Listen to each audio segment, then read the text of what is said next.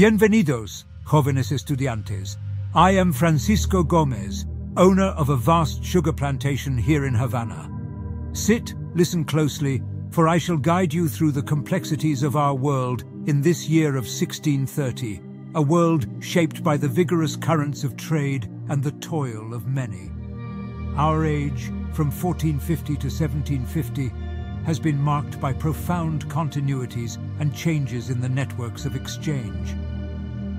The world you know today was molded in these centuries.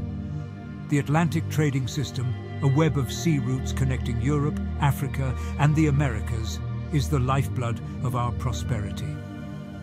It is a system that moves not just goods, but wealth and, regrettably, humans as slaves. Let's talk about these goods. The silver from the mines of Potosi in the Spanish colonies of South America is a cornerstone. This silver, mined often by the forced labor of indigenous people, flows across the oceans. It's used to purchase luxuries from Asia, spices, silks and porcelain, goods that are then sold in the markets of Europe and here in the Americas, a circle of commerce spanning the globe. But it's not just silver. Consider the sugar from my plantation. Sugar, a luxury once, now craves a place in every European home. To meet this demand, we have slaves brought from Africa, a tragic necessity in these times. Their labor turns the wheels of our economy, an economy increasingly reliant on slave labor. You see, this new global circulation of goods was not just about the commodities themselves, but about changing the very societies that produced and consumed them.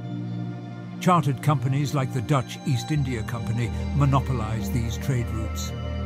They are the new powers, controlling vast stretches of commerce with the backing of their governments. It is a world where trade is power, and power shapes trade.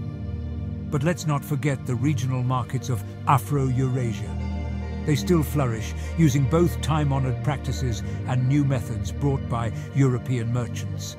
The Mediterranean, the Indian Ocean and the overland Silk Road. They remain arteries of commerce, pulsing with goods and cultures. Now consider the impact on the common folk. The peasants and artisans from Western Europe to India and China find their labour intensified. In Western Europe, it's wool and linen. In India, cotton in China, silk. These are not mere commodities. They are the threads that connect the lives of countless labourers to this vast global network. In my Havana, you see this interplay. European linen mingles with Chinese silk, Indian cotton with African gold. And all of it, every thread, every coin, tells a story of change, of continuity, of humanity straining and thriving in this great web of trade. Remember, students, the world you see today, the exchanges of cultures and goods, has its roots in this era. The choices we make, the lives we lead, are but echoes of this grand dance of commerce that began centuries ago. As you walk through the streets of Havana, see not just the goods, but the stories they carry. Understand that every piece of silver, every bolt of silk, represents not just trade, but a complex tapestry of human interactions, ambitions, and sometimes, alas, sufferings. This is your lesson, the essence of our age. Carry it with you as you journey back to your time. And perhaps, with this understanding, you might shape a better future than the one we knew. Adios, and may your travels through time enlighten your path.